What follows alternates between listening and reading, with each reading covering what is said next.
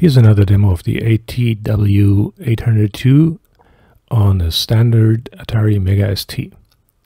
So what we do here is we're starting a shell, in this case it's Mupfel, then we change into a directory and we start a batch file.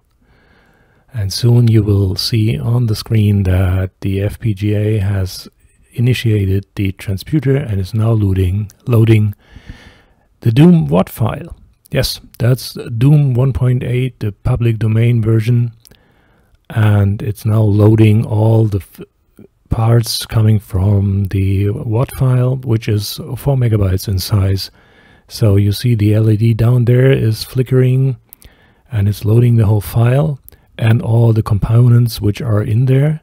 So it starts with the refresh daemon and after that it loads other parts which takes quite a while. So we're speeding up the video four times.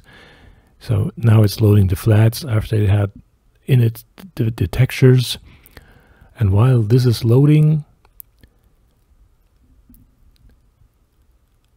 we're setting back the speed to normal.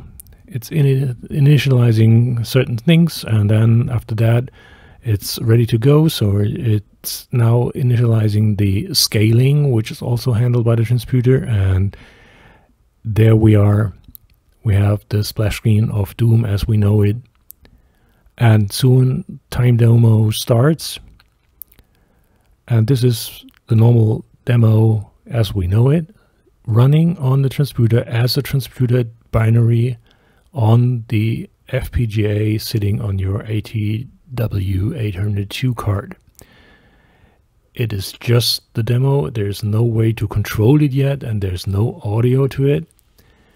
But the speed is quite okay.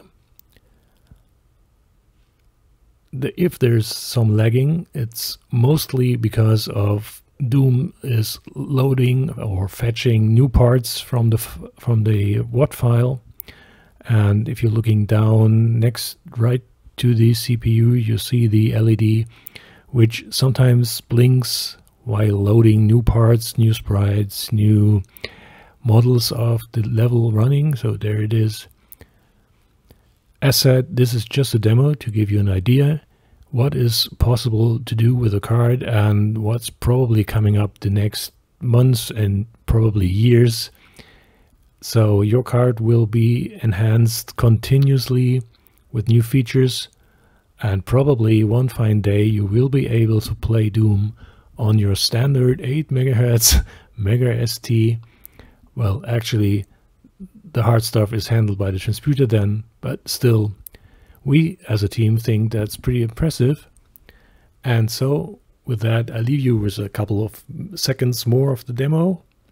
And that said, we wish you a Merry Christmas and a Happy New Year. Thank you.